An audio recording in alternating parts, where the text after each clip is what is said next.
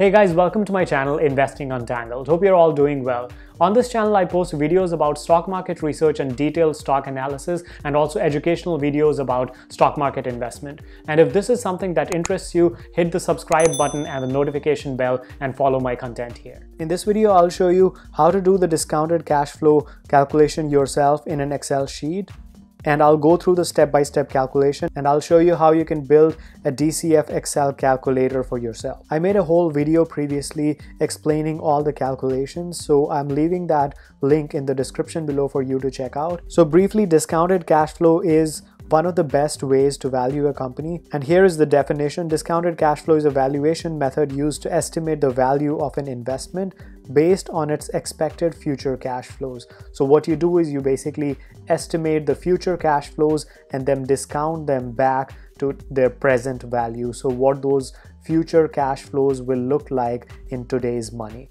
And that's basically what discounted cash flow is. This is the formula for calculating discounted cash flow. And I explained this formula and also the calculation behind it in this previous video that I did. So you should check that out if you want to understand all the details. So based on that last video, I got a few requests in the comments where people ask that I should put together an Excel sheet and show them how you can actually build your own Excel sheet for doing discounted cash flow and that's what I'm going to do in this video. To start with, the required numbers for discounted cash flow are number one, discount rate. Briefly, it is the required rate of return. The higher the discount rate, the lower will be the intrinsic value. So the higher the discount rate is, the more conservative you will be. You should always have a discount rate higher than the risk-free rate that is, for example, given to you by US Treasury bonds, where you're not taking any risk and that rate of return is guaranteed to you. But if you're investing in stocks, that means you're taking some risk. So you should expect a higher rate of return. So you should always have a discount rate higher than the risk-free rate.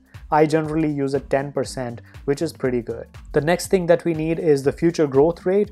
Because I told you, you have to estimate future cash flows going forward. That means you need a future growth rate at which you estimate those cash flows. So this will be the rate that you think the company will be growing at in future. And the final thing that you need is the perpetual growth rate. And this means this is the rate of return at which you think the company will be growing in perpetuity. And what that means is that, for example, you estimated your cash flows for the next five years or 10 years, but that doesn't mean that your company will not produce any cash flows after 10 years, but it's just hard to estimate those uh, cash flows after, let's say, 10 years. So, what you do is you become very conservative and you reduce the growth rate to something like 2 or 3%, which is being extremely conservative. I'll be using a discount rate of 10% a future growth rate of 15% and a perpetual growth rate of 3%. So let's get started. Now here I'll give you a real example of a company.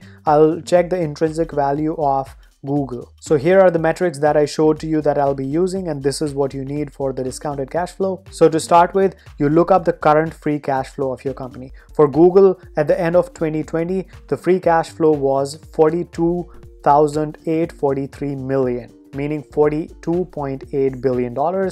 So everything here is in millions. So I'm going to leave it like this. And now what we do is we actually using a future growth rate of 15% that I got from analysts at Yahoo Finance. I'll use this future growth rate to estimate what my future cash flows will look like. So using this 15%, my 2021 cash flow will be $49,269 million, meaning $49 billion. And if you see the formula, it's basically the current cash flow, the current free cash flow multiplied by 15%, which is the growth rate, the future growth rate, plus the same free cash flow from that year. So it's here B3 is present free cash flow. You multiply it by 15%, meaning 0.15 and then you add the same free cash flow back to it, meaning you're increasing it by 15%. So the next year, using 15% growth, free cash flow will be 49 billion. And you do it the same way for the next years as well. So for 2022, you will add 15% to this, and that will make it 56,660 million, meaning 56 billion. And then you'll do the same thing here add another 15%, and that'll make it to 65,159 million, meaning 65 billion. And you'll repeat it all the way until 2025. So in this example,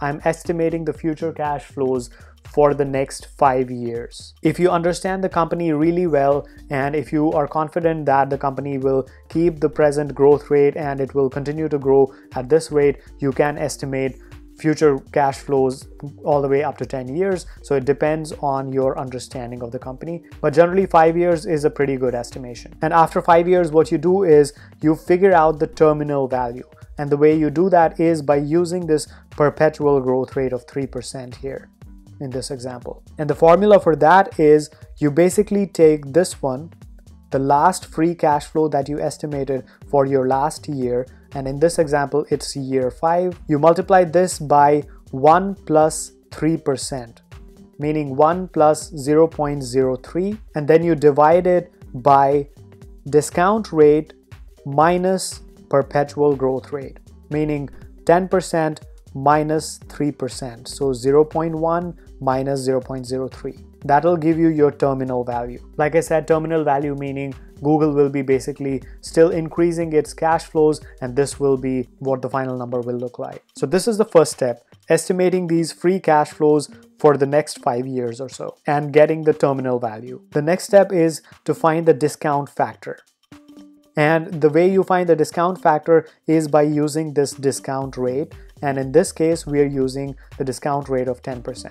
So again, remember discount rate is the rate of your return, the return that you want on your investment. So if you want a 15% rate of return, you can use a discount rate of 15%. And here I'm using Excel in the European format. So all the decimals are denoted by a comma. So it's not a dot by but a comma. So now the formula for discount factor calculation is for the first year, you will take 1 plus 10%. So 10% being your discount rate. So 1 plus your discount rate of 10% for the first year. The second year will be 1 plus 10% again, the discount rate, but this time raised to the power of 2.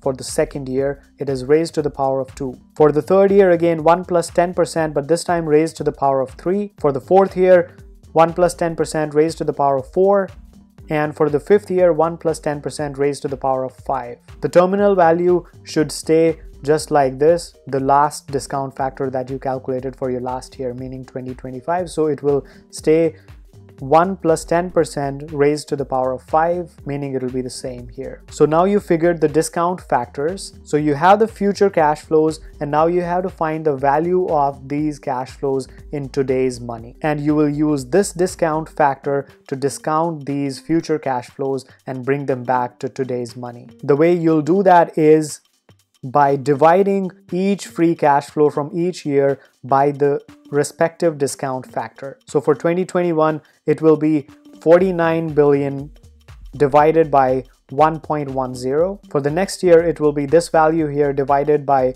1.21. For the year after, for 2023, it will be this divided by this, and so on. And that's what you do also for the terminal value. You divide this free cash flow by the discount factor. So now what you got here is the present value of all these future cash flows. And now the next step is to sum all of them up here. So here, this is the combined present value of future free cash flows. So all these present value of these future cash flows are summed together and this is the value for that. And now this is for the entire company, for the whole Google company. So on a per share basis, you just divide this by the shares outstanding, by the number of shares that are outstanding for that company. And for Google, it is 733 million shares outstanding. So you divide this value by this, and that will give you the intrinsic value of the stock, which is $1,409 for Google. So please remember, I have actually rounded these figures off and I have removed the decimals, except for these values here where it is important. Intrinsic value is also called a fair value, so you can say that it, this is the fair value of Google. And then since this is all based on estimations and future growth rate and it can happen that you know you're wrong somewhere so what you do is you take some kind of margin of safety In the Intelligent Investor book by Benjamin Graham, he suggests a margin of safety of 50%. I generally take a margin of safety of 30%, so it depends on you. If you want to take a margin of safety of 50%, you would basically divide this by 2 and that would be your buy price. I generally go with a margin of safety of 30%, which is fine for me and for my own investments. So what I did here now is that I took the 30% of uh, this. So 30% of $1,409 is 423. So you can see here this multiplied by 30% gives me this number here 423 and what I do then is I subtract 423 from this. So 1409 minus 423 will give me 986 and this will be my buy price. And at the time of recording this video, Google is trading at over $2,000. So clearly Google is expensive at these prices and I do not want to buy Google at these prices so it is trading at a premium right now. So this is how you can set up a discounted cash flow calculator for yourself. Please let me know in the comments below if something was not clear. I'll try to clarify that. I hope you got some useful information out of this video.